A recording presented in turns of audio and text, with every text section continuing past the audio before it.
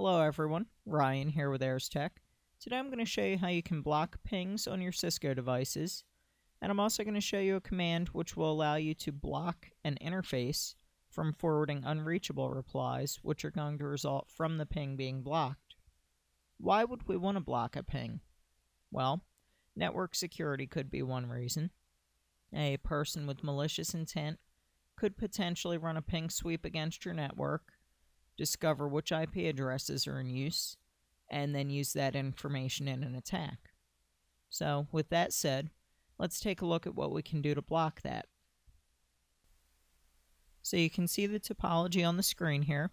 I have the PC in the top left, which I'm using to telnet into R1, and then I'm telnetting from R1 to R2 and R3 as we need to for this example. For this example, I've already configured all of the IP addressing and OSPF to do the routing between R1, R2, and R3. And all we need to do now is some verification with pings, and then we'll get started with how we can block those. Okay, so here we are at the command line. You can see we're on R1. Let's go ahead and ping R2. And looks good there. Let's ping R3.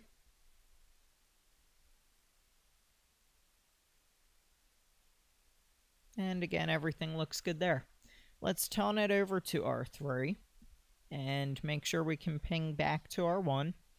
I know based on what we just saw we should be able to, but you'll see why we're doing this later in the example. And looks good there as well. So I'm going to now go to R2.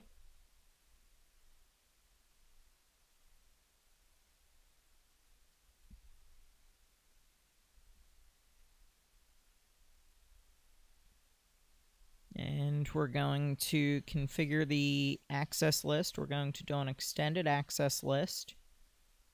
And we're going to block ICMP. And don't forget to allow all other connections. Otherwise, you will lock yourself out of the device if you're telnetted in. And we will go to the interface between R1 and R2. We're going to apply the access list inbound on that interface. And go back to R1. And let's ping R2 again.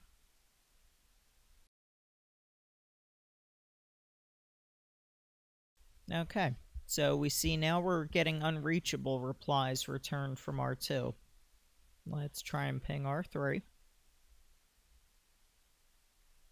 Again, unreachable.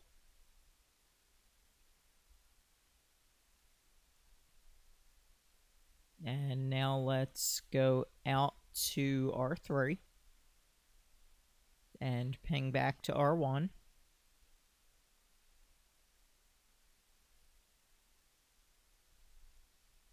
Now we see they time out. The reason for that is that technically the ping from R3 to R1 isn't being blocked.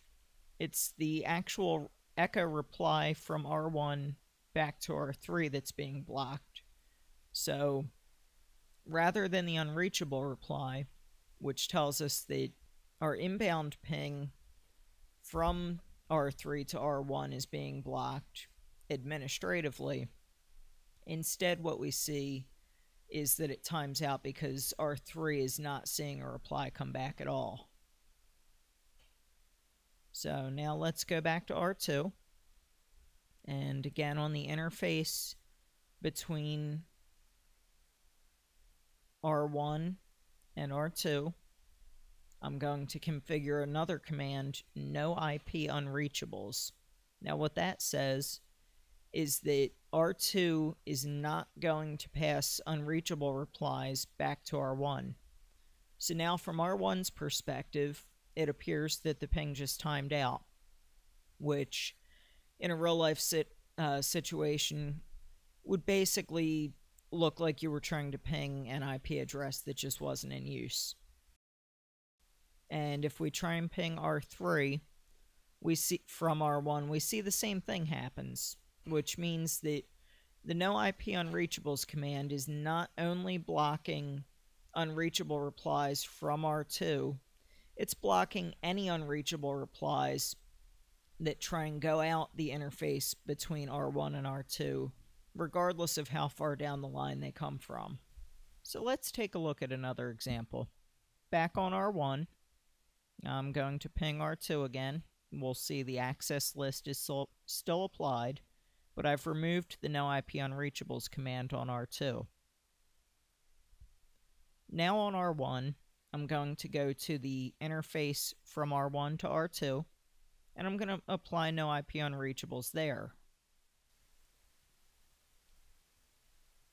So now let's ping R2 again.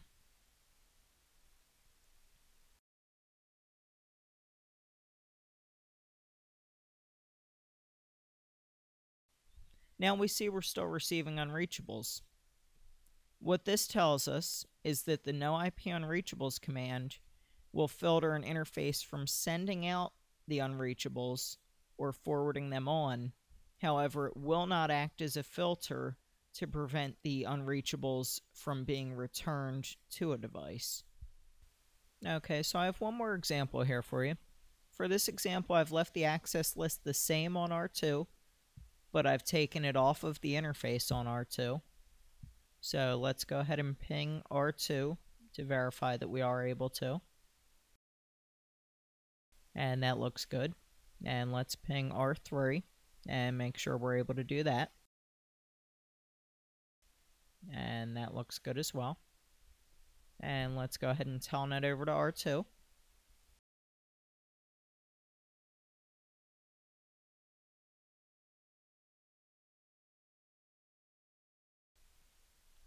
And we're going to go under the interface between R1 and R2 and I'm going to apply the same access list outbound on R2 and we'll see what happens there. And this is an important note as far as access lists go.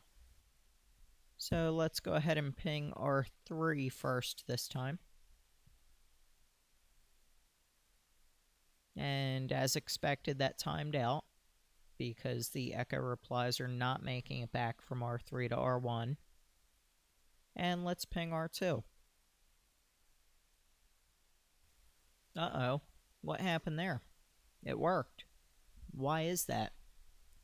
Access lists will block traffic that is forwarded through a port, but they do not block the traffic if they're applied outbound on the device that they're applied on.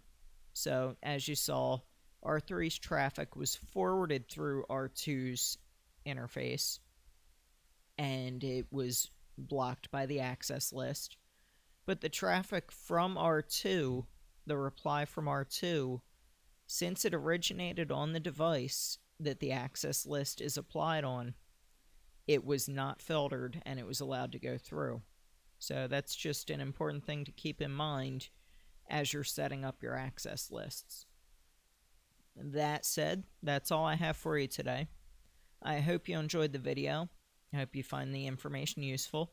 If you like the video and want to see more, don't forget to subscribe to the channel. And as I said, many more will be coming in the future. Thank you for viewing.